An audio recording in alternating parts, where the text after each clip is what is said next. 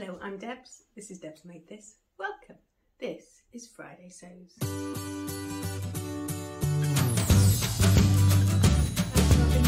action again, sorry. Um, today I was going to talk you through some of my sewing rebel rule breaking. Let me say thank you to Jen uh, for Friday Sews and the idea of exploring different makers around the world. Congratulations to Granny Jen uh, and I hope she's enjoying some lovely time with her grandchild. Um, and I'll link to her channel down below. So this is just a bit of fun and I wanted to share with you some lessons learned from some of the risks that I've taken with some fabric pattern combos in the last month or so. Uh, I hope you're all alright and that you're enjoying this gentle build up to um, the holiday season. I love Advent, I love how it feels and the weather in the UK has just been glorious. Those crisp kind of frosty, don't had any snow, um, but just everything is just beautiful. I have been using the incorrect fabric to sew my makes. Um, and obviously, do not do this with very precious fabric. Do not do this unless you kind of prepared to try and fail and see and have a think about what aspects of the pattern you need to consider. So I have been sewing stretch garments in jersey that only has mechanical stretching, does not have elastane, so therefore it has very poor recovery. So the components of um, the fabric, this is a piece of cream cotton interlocked fabric that's come, which is the most soft and beautiful organic fabric that's come from the Organic Textile Company. Um, who I've raved about at length before. And you can see that uh, parallel to the selvage, we've got a little bit of give and going across rise, we've got quite a lot of give. So it's probably got, what, 40%, but just, can you see, it doesn't kind of come back to itself. Now it will come back with a wash, it'll come back to itself then, but um, yeah, it's, you just obviously have to be a bit careful. Now, why would you want to do that? And you'd want to do it because this is obviously a much more sustainable option because it only has cotton fibres in it. It doesn't have any elastane and it's got no polyester based or um, plastic based fibre in it at all. Um, but the other thing is it is incredibly soft. Um, there's a very clear chain where it comes from. So yes, all sorts of reasons why I wanted to try it and see. So I was after some basics. Hang on, I've got two of the three of them here. If I've got a picture of me in the third, I will put it in. So the um, the first one that I made is a Rowan T. So I've made tons and tons of these. It's a Megan Nielsen pattern. It's one of my tried and trues. Um, I often make it as a bodysuit. Now, I could not use this fabric to make a bodysuit because as we saw, it has mechanical stretch horizontally and it has no vertical stretch. So a bodysuit would be a very bad plan. So you kind of have to just be a little bit canny about what you're making done is to make the Rowan in um, like a like a minimally stretchy fabric before. So I knew that it would be all right and I knew that actually it's got quite a wide neck so it would go over my head. So it's just thinking about that. How much does the neckband need to stretch? Um, and how much kind of give do I need across the body of the fabric. So we know it's got give, but what it's going to do is over the course of the day, the it's not going to have the recovery that a cotton spandex jersey has got. And you can see that from one of these. So the that one doesn't show it very well. I was going to show you that the, the, the arms, the end of the arms back out. You can see it a bit better on the on the um, the hem. So what tends to happen is once it's stretched, it doesn't ping back in again in the same way that like a one of your lovely art gallery jerseys would. Um, so that means that you've just got to be aware of that as a thing. Now, for me, it's not an issue. These are all going to be worn in winter under things, either under pinafores or dungarees or under jumpers. Um, so they're layering pieces and I want them because they feel really nice and soft against my skin. So there was a Rowan tee with long sleeves. There was this, which is a Rowan tee with the V-neck. Now, um, I've made uh, something with a deep V-neck. What was that? A Vera, which is a free pattern. That's a super pattern um, I've made that with a v-neck in something that didn't have very much stretch and it worked beautifully. So I kind of thought that this one would be fine. Um, you just have got to be a little bit careful because the neckline is not so forgiving. So it's not perfect, perfect, the neckline on that, but I think it's it's fine and it does for me. Um, I didn't use the cover stitch. I kind of ummed and ahed about using the cover stitch and in the end I just did a straight stitch to top stitch that neckline because it doesn't need to stretch. It's, you know, it's not going anywhere, is it? I've got a little head and it's of a good deep V. So that's like a long arm, full length rowan, although I take about this much out because I'm only got short waisted. And then the third thing I managed to get out, so this was out of two meters, I think, of um, this interlock was um, I had to cut the back on the um, in two pieces but this is a short sleeved Tilly and the buttons Agnes and that was just because I'd got a bit of fabric left over. Um, and again that's kind of been worn like a vest really. It's just worn as a layering piece. I think that's gone okay. I got the piece of fabric that I wanted I got the tops that I wanted and actually I've worn them loads. The only reason I haven't been worn in the last week is because they've been sitting in a pile ready to make the video. Um, the other one that I made was the other toaster. So whichever this one isn't this is the other one. Um, and uh, I crop it slightly, um, uh, but still keep the little bee at the side. And this is done in um, French terry, which again um, is from the Organic Textile Company. It has no stretch, it only has give. But again, I know that I don't need any stretch for this fabric. So I think I sized up this and I think I've made a medium. Certainly gave it more room across the chest and the back because that's normally where I need my space. Um, and I think I made a medium in the arm as well, just because I was aware it wasn't going to be able to kind of stretch and give in the same way. But I wear this over the top of the other, it has a Hello Lovely label in it, um, because this is one of the fabric, one of the patterns that is really difficult to tell the front from the back. They're very, very similar. Um, and that's been worn a load with my peppermint wide leg pants in navy.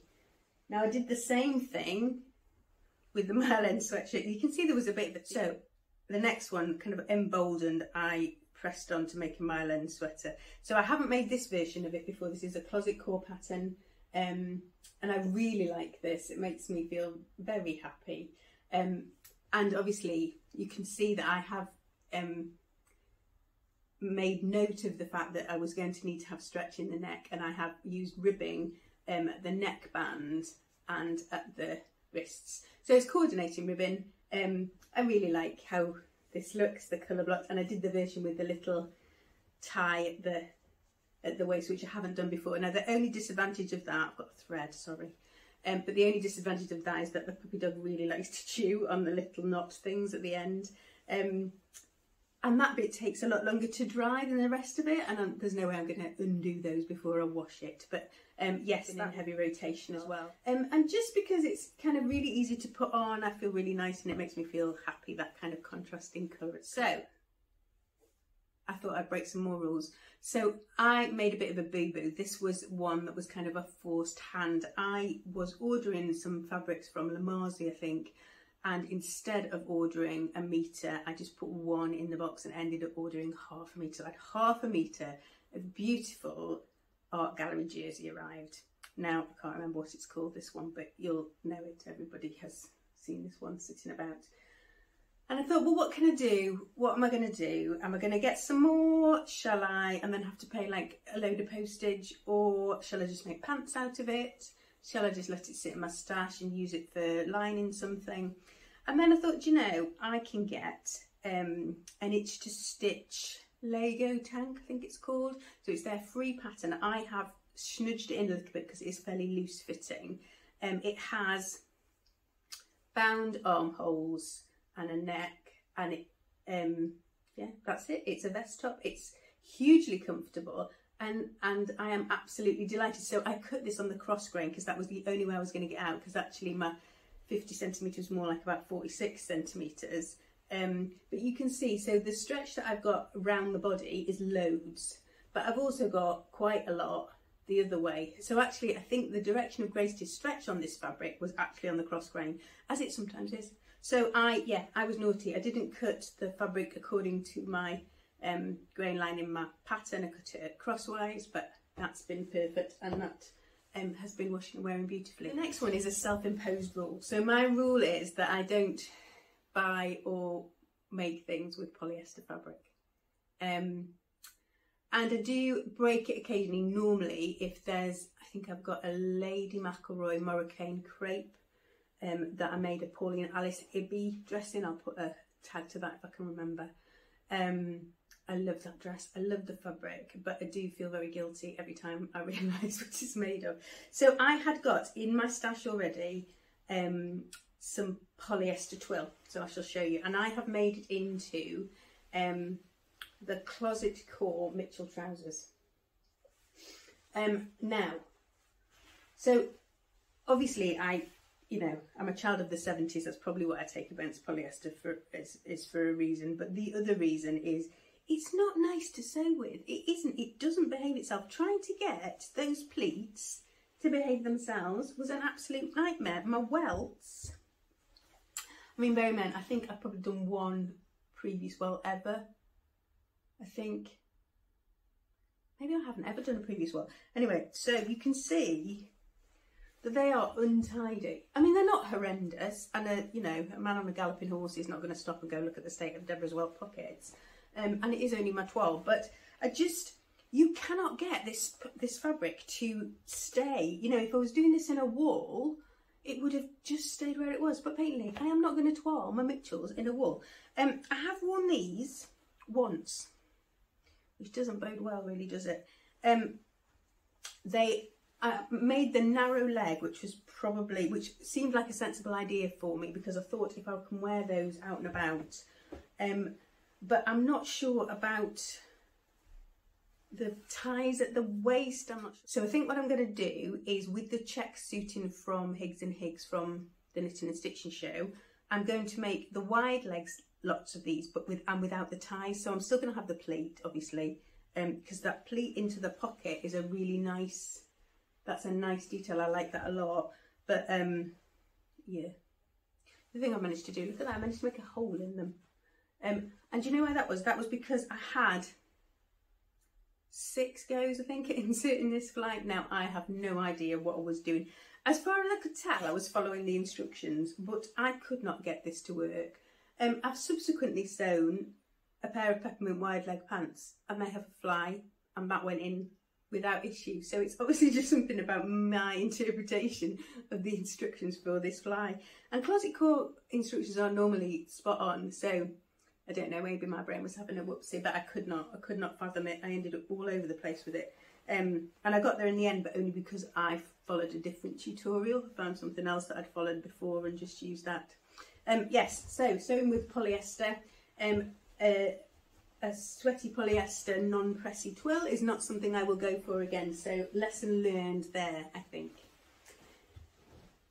Right, what else have I've been up to? Oh, I've been um, sewing a prototype. I show you that and um, as you can see dog walking has been featuring. I'm going to put in a really nice picture here of um, our dog walk at the weekend which was beautiful.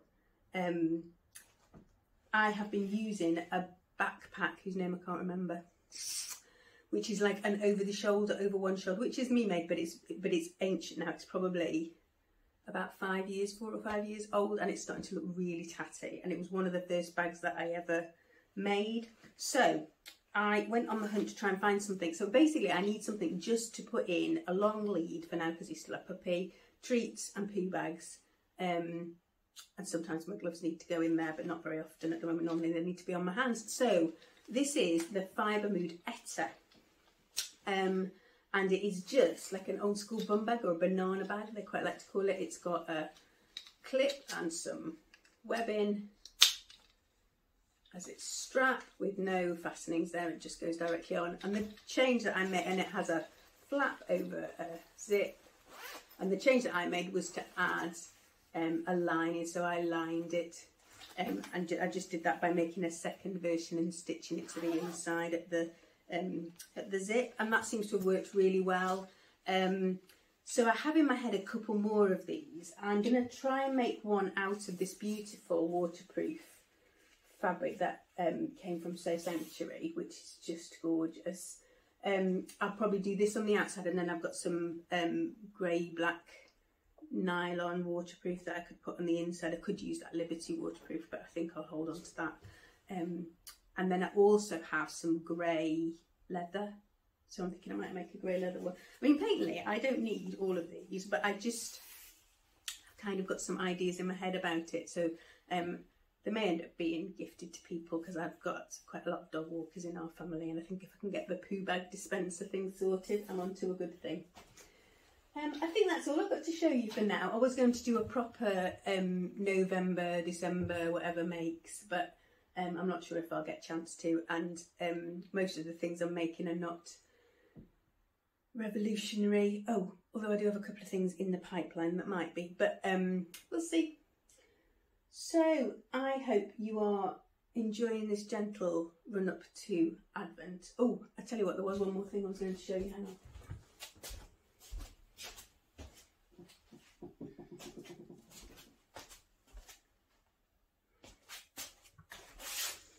I was going to show you a couple. I thought I'd show you a couple of my favourite um, calendars. So I was going to do Vlogmas and I just, there is just not enough time and energy in this house at the moment to make that thing. Um, if I've got spare energy, I think I need to spend it sewing and creating rather than filming and editing. Editing is just... So I thought I'd show you a couple of my favourite ones. So um, there won't be any spoilers unless you've done your if so pause here if you've done your calendar the other way around so they did this thing where you're supposed to start at 24 this time and a lot of people didn't. They started at 1 it did say on it that you were supposed to start at 21 but there have been um, a couple of kind of sweet ones. So there's this one which is made with love and coffee which I thought was nice. I liked pedal to the metal and I love to sew. So there's been, yeah, there's been lots of really lovely ones. If you want to see more of them, I'm quite happy to show you my very favourite at the end of it all. Um, but I really, mine came from Bourne, which is a fabric um, company in Glasgow, and I'm hoping if I get to Scotland over the festive period, I'll be able to go and visit there if it's a day when it's open.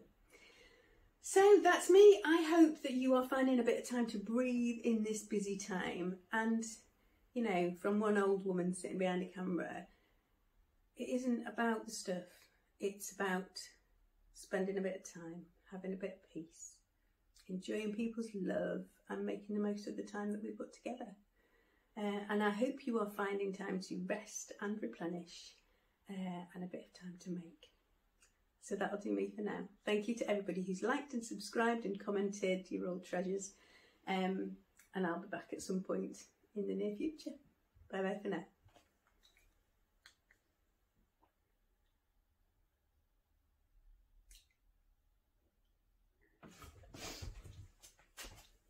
Wearing beautifully. This one is a self-imposed rule. So my rule is that I don't buy or make things with polyester fabric. Um, and I do break it occasionally, normally if there's, I think I've got a Lady McElroy Moroccan crepe um, that I made a Pauline Alice Ibby dressing. I'll put a tag to that if I can remember. Um, I love that dress. I love the fabric, but I do feel very guilty every time I realise what it's made of. So I had got in my stash already um, some polyester twill. So I shall show you. And I have made it into um, the Closet Core Mitchell trousers. Um, now, so obviously I, you know, I'm a child of the 70s. That's probably what I take against polyester for is, is for a reason. But the other reason is it's not nice to sew with. It isn't. It doesn't behave itself. Trying to get those pleats to behave themselves was an absolute nightmare. My welts, I mean, bear in I think I've probably done one previous welt ever. I think. Maybe I haven't ever done a previous welt. Anyway, so you can see that they are untidy. I mean, they're not horrendous, and a you know a man on a galloping horse is not going to stop and go look at the state of Deborah's welt pockets um, and it is only my 12 but I just you cannot get this this fabric to stay. You know if I was doing this in a wall it would have just stayed where it was. But painfully I am not going to twirl my Mitchells in a wall. Um, I have worn these once which doesn't bode well really does it? Um, they I made the narrow leg which was probably which seemed like a sensible idea for me because I thought if I can wear those out and about um, but I'm not sure about the ties at the waist. So I think what I'm going to do is with the check suiting from Higgs and Higgs from the Knitting and Stitching Show, I'm going to make the wide legs lots of these, but with and without the ties. So I'm still going to have the pleat, obviously, because um, that pleat into the pocket is a really nice. That's a nice detail. I like that a lot. But um, yeah, the thing I managed to do. Look at that. I managed to make a hole in them. Um, and you know why that was? That was because I had six goes, I think, inserting this flight. Now, I have no idea what I was doing. As far as I could tell, I was following the instructions, but I could not get this to work. Um, I've subsequently sewn a pair of peppermint wide leg pants and they have a fly and that went in without issue. So it's obviously just something about my interpretation of the instructions for this fly.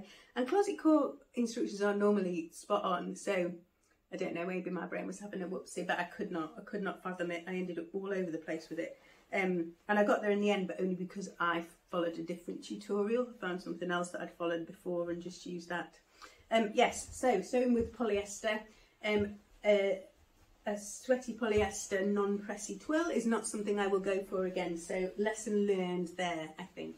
Right, what else I've been up to? Oh, I've been um, sewing a prototype. I show you that. And um, as you can see, dog walking has been featured using a backpack whose name I can't remember which is like an over the shoulder, over one shoulder, which is me made, but it's but it's and it's starting to look really tatty. And it was one of the first bags that I ever made. So I went on the hunt to try and find something. So basically, I need something just to put in a long lead for now because he's still a puppy, treats and poo bags. Um, and sometimes my gloves need to go in there, but not very often at the moment. Normally they need to be on my hands. So this is the Fibre Mood Etta. Um, and it is just like an old school bum bag or a banana bag, they quite like to call it. It's got a clip and some webbing as its strap with no fastenings there, it just goes directly on. And the change that I made, and it has a flap over a zip, and the change that I made was to add um, a lining, so I lined it, um, and I just did that by making a second version and stitching it to the inside at the um, at the zip and that seems to have worked really well. Um, so I have in my head a couple more of these. I'm going to try and make one out of this beautiful waterproof fabric that um, came from So Sanctuary, which is just gorgeous.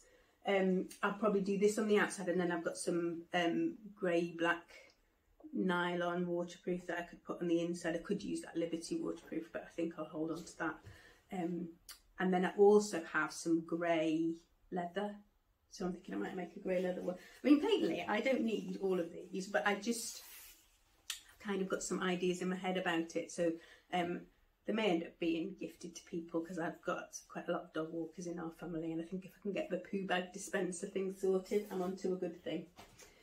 Um, I think that's all I've got to show you for now. I was going to do a proper um, November, December, whatever makes, but um, I'm not sure if I'll get a chance to, and um, most of the things I'm making are not revolutionary. Oh, although I do have a couple of things in the pipeline that might be, but um, we'll see. So I hope you are enjoying this gentle run up to Advent. Oh, I tell you what, there was one more thing. I thought I'd show you a couple of my favourite um, calendars. So I was going to do Vlogmas, and I just there is just not enough time and energy in this house at the moment to make that thing. Um, if I've got spare energy, I think I need to spend it sewing and creating rather than filming and editing. Editing is just... So I thought I'd show you a couple of my favourite ones. So um, there won't be any spoilers unless you've done your... If, so pause here if you've done your calendar the other way around. So they did this thing where you're supposed to start at 24 this time, and a lot of people didn't. They started at 1. It did say on it that you were supposed to start at 21, but there have been um, a couple of kind of sweet ones. So there's this one, which is made with love and coffee, which I thought was nice. I liked Pedal to the Metal. And I love to sew. So there's been, yeah, there's been lots of really lovely ones. If you want to see more of them, I'm quite happy to show you my very favourite at the end of it all. Um, but I really, mine came from Born, which is a fabric um, company in Glasgow, and I'm hoping if I get to Scotland over the festive period, I'll be able to go and visit there if it's a day when it's open. So that's me. I hope that you are finding a bit of time to breathe in this busy time. And, you know, from one old woman sitting behind a camera, it isn't about the stuff, it's about spending a bit of time, having a bit of peace, enjoying people's love, and making the most of the time that we put together. Uh, and I hope you are finding time to rest and replenish uh, and a bit of time to make. So that'll do me for now. Thank you to everybody who's liked and subscribed and commented, your old treasures. Um, and I'll be back at some point in the near future.